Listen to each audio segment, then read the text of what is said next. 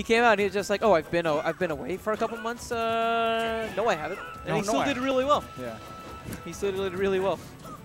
There's no such thing as taking a break from Smash. It's just disappearing from your immediate tournament scene and uh, come back and body you guys. It's just a Z-axis, dude. yeah, That's where you go. you disappear for a little bit. Exactly. Oh my goodness.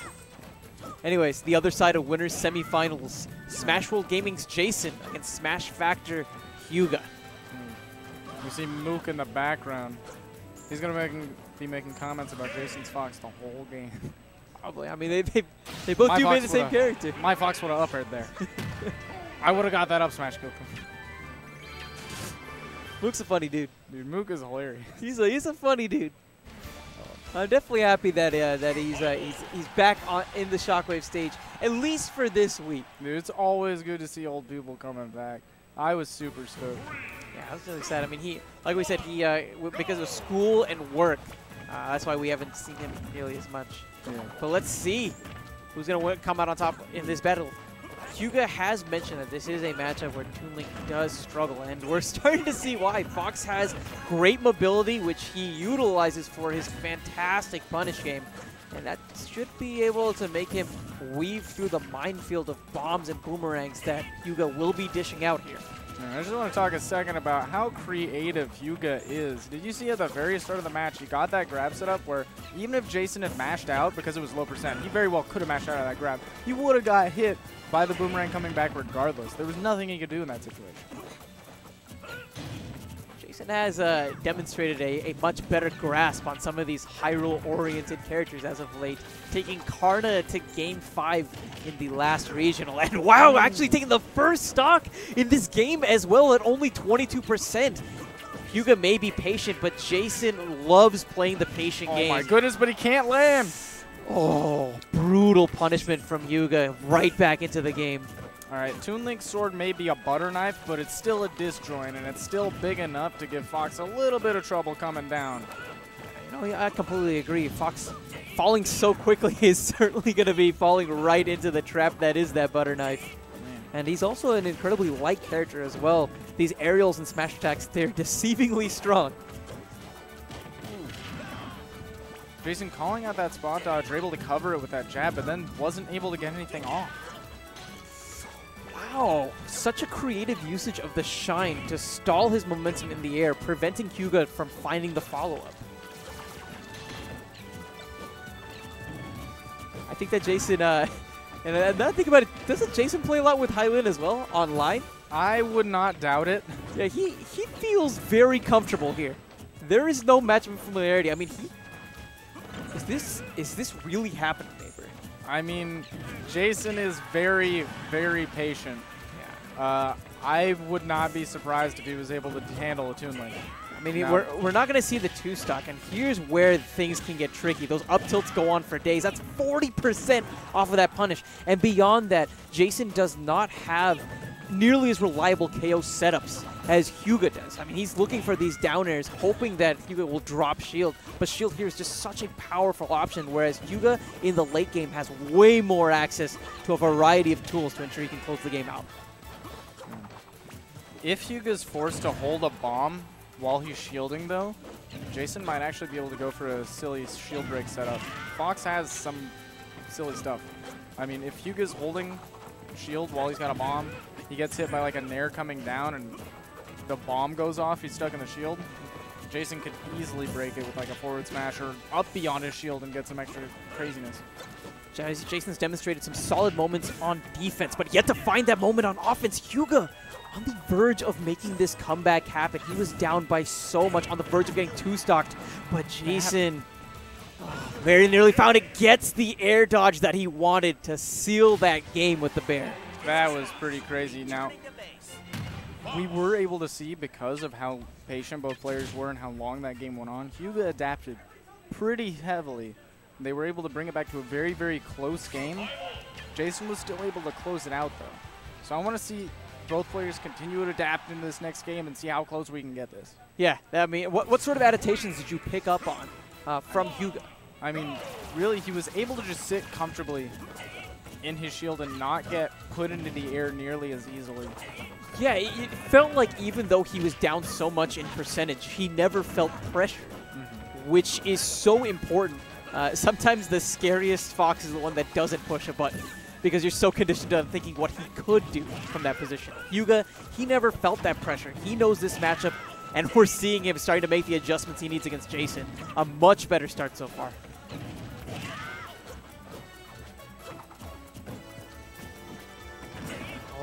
I was, I was wondering what Jason was going to do to get out of the corner. So far, we saw him use the dash attack. And in air, he's been prone to use this shine to stall his momentum.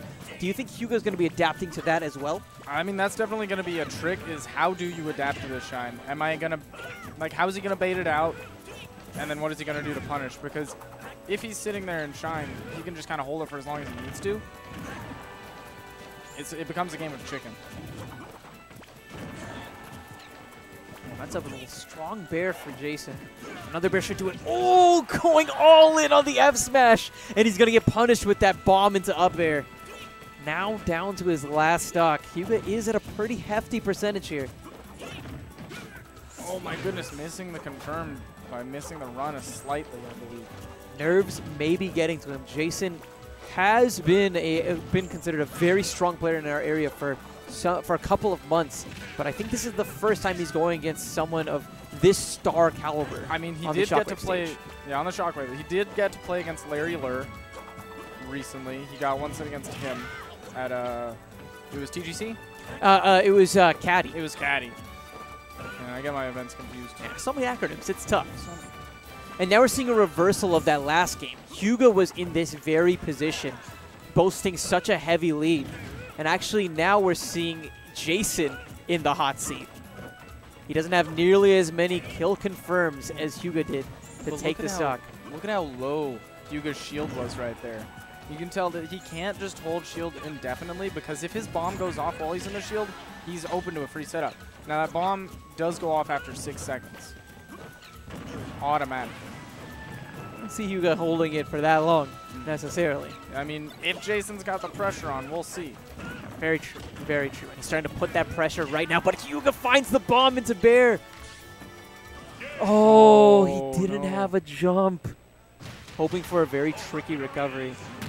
Potentially to limit the the the uh, the potential of uh, of a bomb into aerial, or even just a raw aerial out there. Yeah, he wanted to avoid somebody.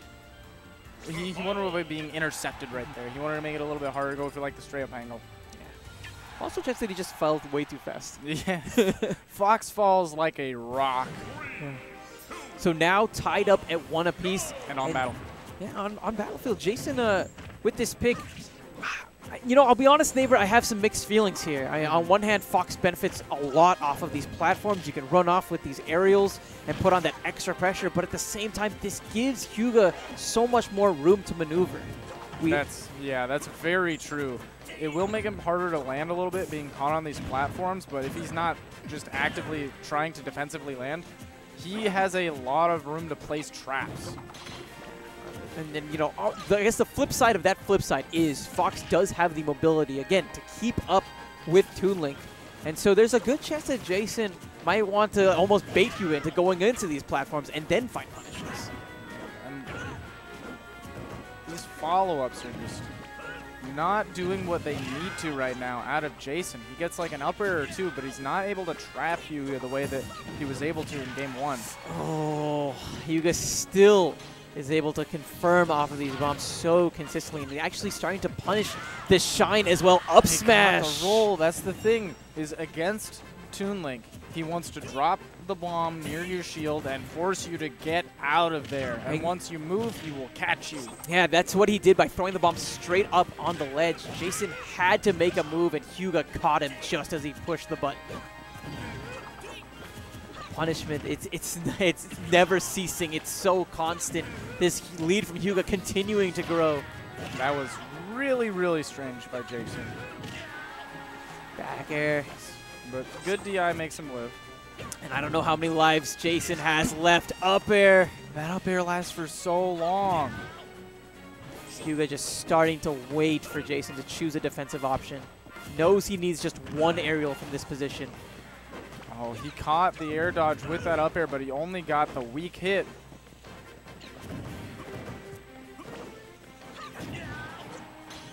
Now, is this a percent where it, it's tough for Toon Link to find the follow-ups off of the bombs?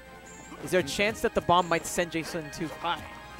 There is a chance, but at this point, if he's able to catch Jason in his shield, and uh, like he can call him out with that up smash, or if he's able to grab him for sitting in shield, back throw is definitely an option. Yeah. Or you could just fling him all the way across the stage, you know. He really, at, at that position, he was playing with the entire deck. Yeah. And Jason had such limited options. Forced to play defense, nowhere really to go. Like Still, man, 2-1. all I got left is the Queen of Hearts. Yeah. It's like, go fish. Go fish. Go fish. Man. I mean, it was a really good game one, but the adaptations out of Hyuga were just too much. No, agreed. Completely agreed. I think a lot of that also has to do with how different Fox can play as a character between person to person. When you run into a new style of Fox, it can be really difficult adapting to what he chooses to do and when. And that can give you the edge in the game one. But if you're not able to adapt back to your opponent, and they are able to figure out what style of Fox you are, it might be rough for you. And he really, like, he just has it, doesn't he? Like everything, right? Like he, like, like he'll he'll be like in those positions, and even when he's like down so much, he's like thinking along the lines of like, okay, even if I lose this game, what do I do to win the next one? And he's just like, he's like, how many situations can I set up? So by the time it gets to game number three, I know I'm gonna put it in the bank. The main thing is he was able to get Jason a roll. That's the thing is if he, he a lot of the time you would see him run straight past Jason and get the up smash for the roll, mm-hmm. or run straight past him he would get a grab. Run straight past him and Jason is moving. He couldn't stay still. Yeah, I mean, if, well, especially you know, as someone who plays fast characters, Mm. I want to move. Yeah. I, wa- I want to. If, if I'm standing still, it just feels bad.